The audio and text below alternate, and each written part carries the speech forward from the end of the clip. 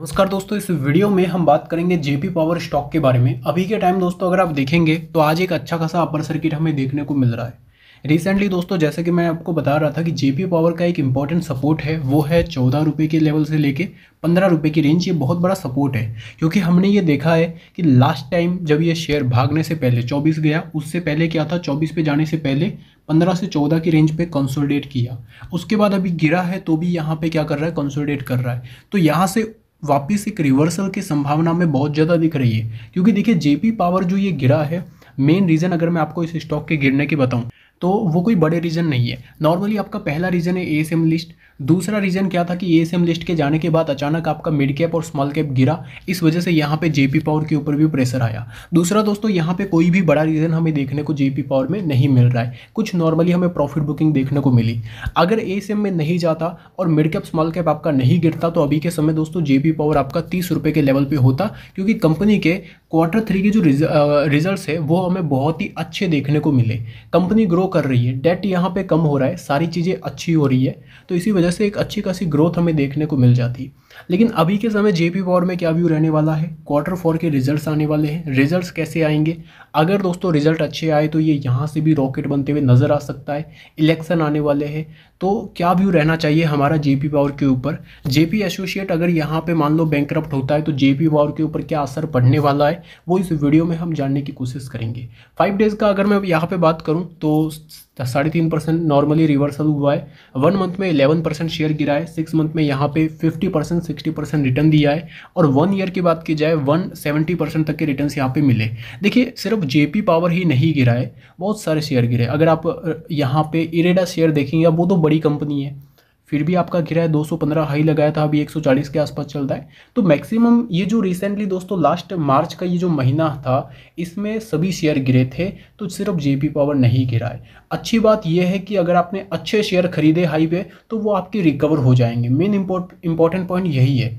अगर आपने अच्छा कोई शेयर बाई किया है, हाई पे बाई किया है, आप हाई पे फंस गए तो कोई प्रॉब्लम नहीं है, आपका पैसा रिकवर हो जाएगा। तो जेपी पावर में क्या रिकवर होगा या नहीं होगा? जिसने चौबीस पे बाई किया, देखिए रिकवर हो जाएगा। क्योंकि ये कंपनी अभी के समय अच्छी बन रही है सुजलॉन की तरह।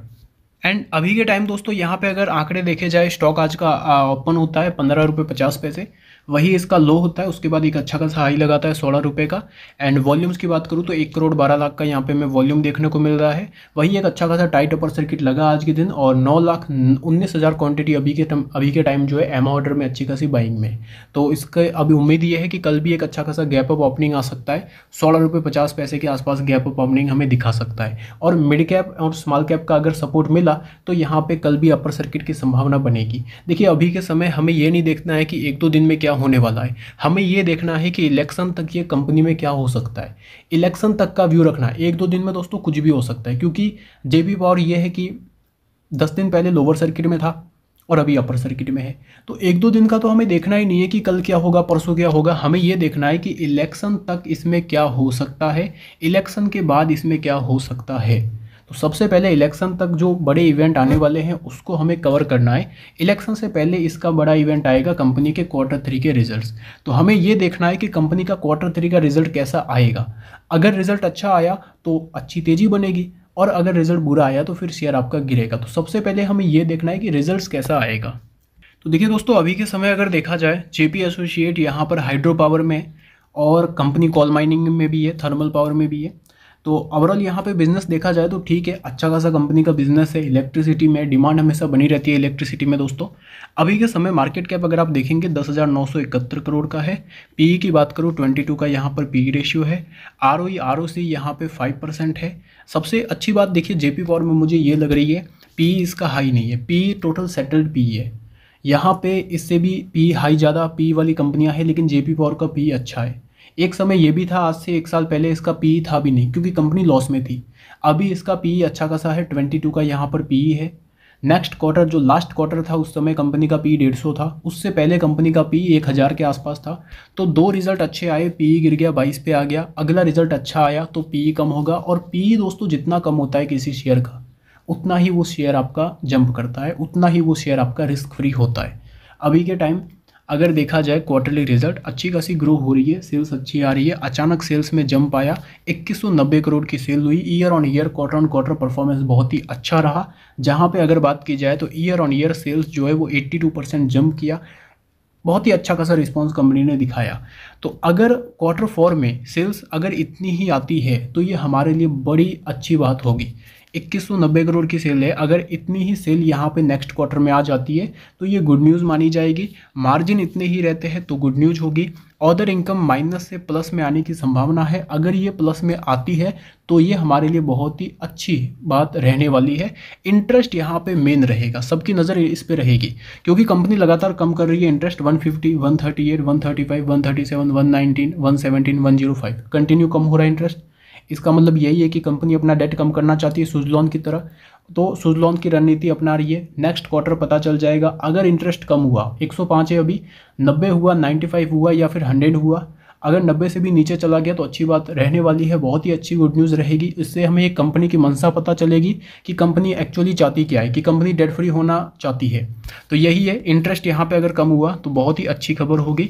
प्रॉफिट की उम्मीद है कि 200 करोड़ तक का प्रॉफिट कंपनी कर सकती है और अगर ऐसा होता है तो शेयरों में रफ्तार एक अच्छी बनेगी, जिससे तीस रुपये के लेवल्स भी हमें आसानी से दिखेंगे। यहाँ पे अगर आप देखेंगे इंटरेस्ट तो कंटिन्यू कम होते होते पहले सत्ताईस करोड़ का था, अभी 400 करोड़ का ही रह चुका है।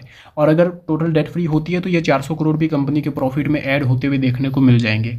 बैलेंस शीट में अच्छा खासा इजाफा हुआ है। तेरह करोड़ का रिज़र्व था, तीन हज़ार आठ सौ करोड़ का हो चुका है। क्वार्टर फोर में जब बैलेंस शीट अपडेट होगी, उम्मीद यह है कि रिज़र्व जो है, वो कंपनी के एसेट से भी ऊपर पहुँच जाएगा। अगर सॉरी डेट से भी ऊपर पहुँच जाएगा, ऐसी उम्मीद है। एसेट जो लगातार गिर रहे थे, अब यहाँ से बढ़ना शुरू हो चुके हैं। इन्वेस्टर्स में दोस्तों ये है कि एफआई वालों की होल्डिंग आधा परसेंट थी और वो बढ़ते बढ़ते अभी पाँच परसेंट हो चुकी है। मतलब एफ़ वालों को टोटल यहाँ पे पूरा भरोसा है जेपी पावर के ऊपर। आने वाले समय में दोस्तों कुछ बड़ा होते हुए नज़र आ सकता है। क्वार्टर फोर रिजल्ट्स आने वाले हैं, बड़ा इवेंट है।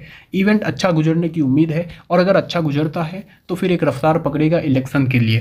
तो अभी के टाइम चार्ट के हिसाब से अगर देखा जाए तो यहाँ पर अभी के समय आरएसआई बिल्कुल डाउन में आ चुका है और रिवर्सल दिया है। फिफ्टी के ऊपर आरएसआई जाता है तो एक स्ट्रेंथ बनेगी कंपनी में, जिससे ये शेयर अठारह के ऊपर भी जाने की कोशिश करेगा।